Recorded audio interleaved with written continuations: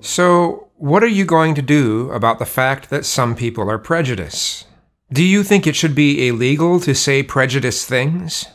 If so, do you hold that same standard for all viewpoints, for all ideologies? Or do some ideologies and viewpoints get special treatment, preferential treatment? Do you think people should be able to say that white people suck, but people shouldn't be able to say that black people suck?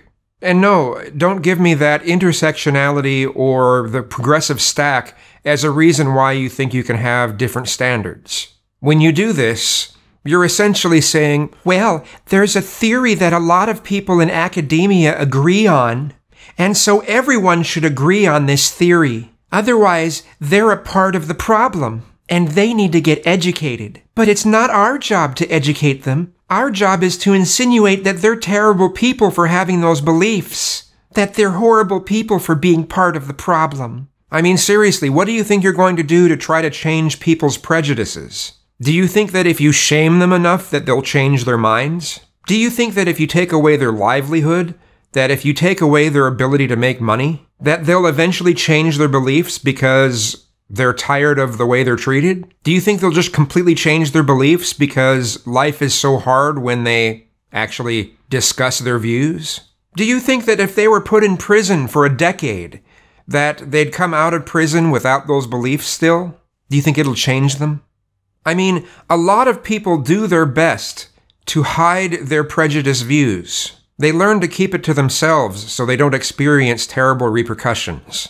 There are a lot of people out there who are very tolerant, but they have those prejudices, but they do their best to not put them on display. They don't feel the need to tell the world their prejudices, but they still have them. But many of those people are very tolerant. Tolerance. The word is tolerance.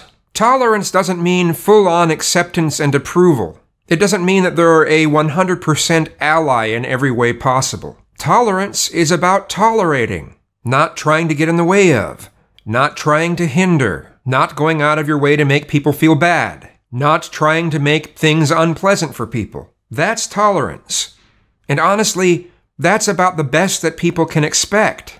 When tolerance is no longer considered good enough, then Uh, Houston, we've had a problem. people lately aren't settling for just tolerance. As I hinted at earlier, people are demanding full on acceptance and approval. They're demanding that people be a 100% ally in every way conceivable. And if you disagree with anything they say along the way, they'll call you a bigot of some sort. Really, people, be glad we've had some progress. I'm not saying be happy about injustices. I'm not saying to be 100% satisfied with the way things are, but I am saying that we should be happy that we've made progress. Sure, since Trump got elected and being not politically correct, and people being stuck in this whole fuck your feelings sort of mindset, yeah, the nasty old 30 year old band aid is being ripped off, and the disgusting, filthy, festering wound is being scrubbed out and properly sanitized, but we're still making progress. It doesn't feel like it right now, but we're still making progress.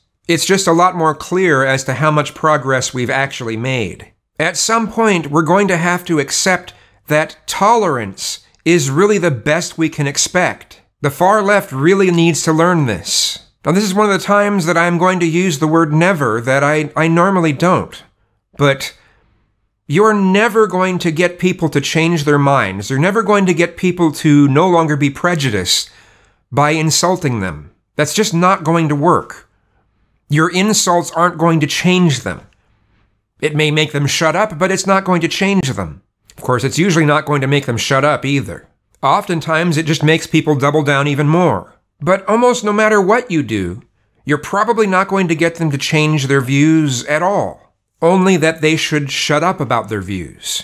And that's the main message. Shut up. We don't want to hear it. Keep that to yourself. As if that's some sort of celebration of diversity. The truth is, the more diverse we get, the more tolerant we're going to have to be. And yes, that means that as long as people aren't doing terrible things to other people, They have the right to hold intolerant beliefs. You don't have the right to take away people's livelihood because you don't like the way they think. You don't like their views. You don't like their beliefs. And the truth is, every mindset, every ideology, every demographic has prejudices. If we know we're not going to change people's minds by treating them poorly, how about we stop treating people poorly? And this goes for everyone.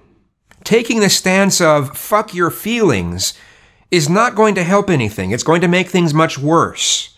If you ask someone what their beliefs are, don't act all offended when they tell you what they actually are. After all, you're supposed to be celebrating diversity. As I mentioned earlier, though, when we have a president who has that fuck your feelings type of mindset, people are going to follow in those footsteps. And this to me is the most unfortunate thing about the Trump presidency. Anyway,